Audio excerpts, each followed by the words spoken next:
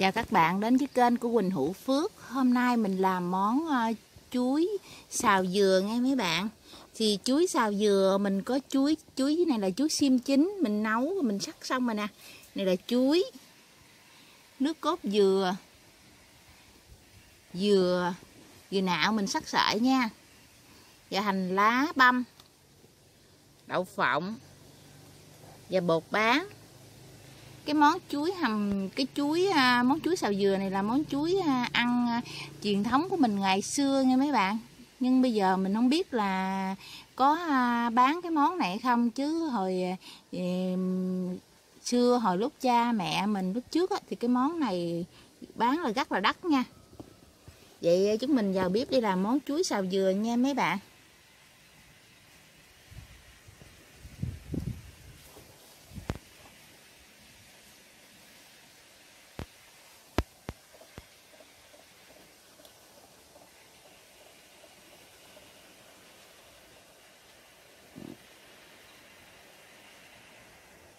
Bạn ơi giờ chúng ta vào bếp và bắt bếp lên để ờ, làm cái món chuối xào dừa nha.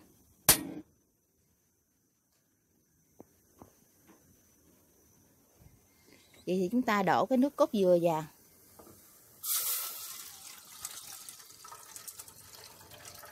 Bữa nay cái đồ luộc của mình nó hơi ờ, nó bị thưa mấy bạn. Nó bị thưa rồi nó hơi lọt uh, sát mình chừa lại một miếng. Mình để cái nước cốt dừa vào mình chờ nó sôi lên. Mình chờ nó sôi lên cũng được, mà nó không sôi cũng được thì mình để vô một chút đường. Một chút đường. Ai thích ngọt thì để hai muỗng đường. Còn ai không thích ngọt thì để chừng muỗng đường là được nha mấy bạn.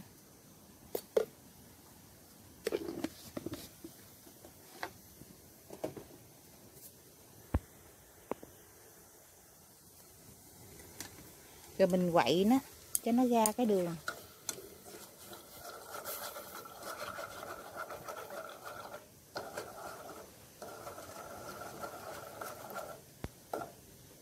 Bây giờ nó đã ra cái đường rồi thì chúng ta là để cái à, bột bán vào. Để bột bán vào nha, để hết cái bột bán này vào. Ý, nó hơi văng mấy bạn. Để bột bán vào thì chúng ta quậy cho nó à, nó tan ra.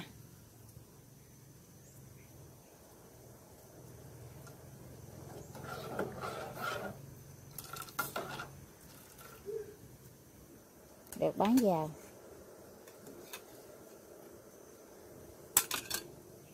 Vì kế đó là mình để cái dừa sắc sợi vào nha, cho nó chín, tại vì mấy cái món này mình để dừa trước vào cho nó chín.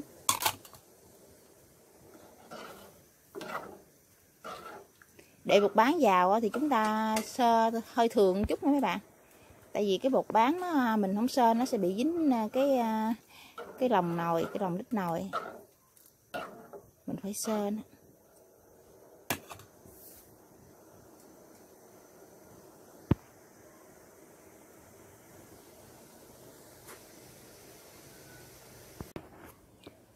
Giờ mấy bạn ơi, bây giờ cái à, nước cốt dừa với bột bán của chúng ta nó đã sệt lại rồi nè.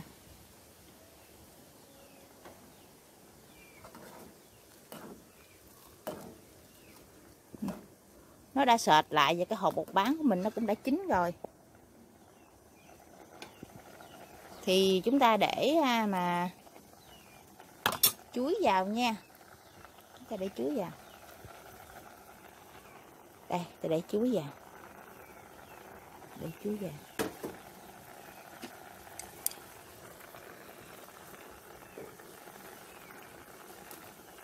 mình quay có một mình à cho nên à, hơi cực một chút.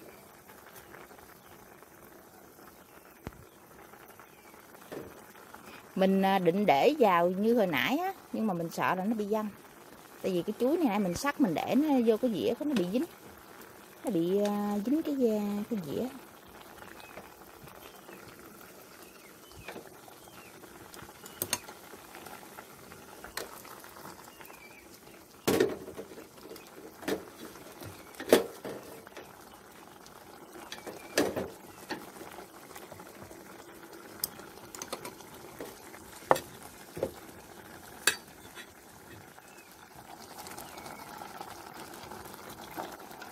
Chúng ta sơ đều cho nó nha mấy bạn. Cho nó thấm cái miếng chuối.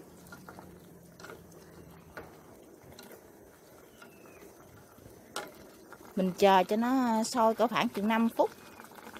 Cho cái miếng chuối của mình nó ờ, thấm đường và cái nước ờ, cốt dừa. Và cái này mấy bạn cũng có thể là để vào một tí muối nha. Một tí muối để cho nó nó dằn.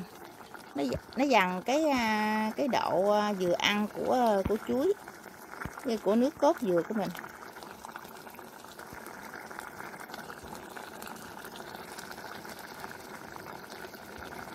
Chúng ta nhìn thấy nó như thế này nè. Nó sệt lại như vậy. Là mình sẽ để cái cái nước cốt uh, nước vào. Tại vì à, cái này là người ta thường là người ta để cái chế cái nước cốt sống nha. Nhưng ở nhà mình à, không có ai thích nước cốt sống hết cho nên là mình đổ cái nước cốt vào đây luôn cái nước cốt này là nước cốt nhất đầu tiên nha mấy bạn. Để vô luôn. Để vô luôn. Ừ. Giờ bây giờ mình sơ cái điều tay là nhắc xuống được nha mấy bạn.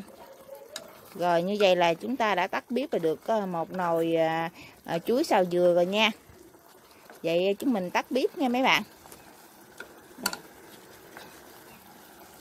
Như thế này là mình đã có được một nồi chuối xào dừa trong khi tắt bếp cái công đoạn cuối cùng của mình là mình để hành lá vào cho nó thơm. Mình để hành lá vào là mình sơ đều là được.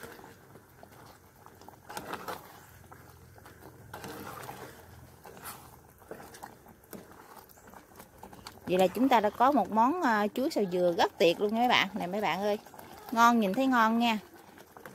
Nè, rất là ngon luôn thì chúng mình à, tắt bếp để à, múc cái tô cái dĩa mình để tụi mình à, thử coi món này như thế nào nha mấy bạn.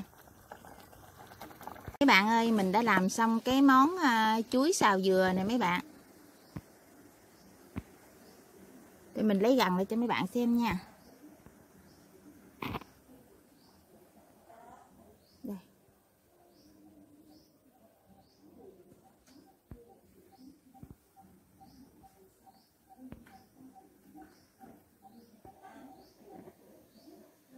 Cái món này mình cũng ờ, rất là dễ làm, công đoạn nó cũng ờ, không có gì quá cầu kỳ nha mấy bạn.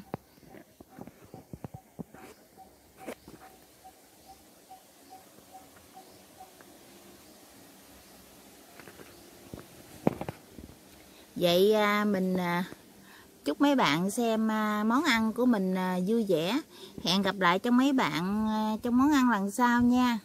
Bye bye, chào tạm biệt mấy bạn nha.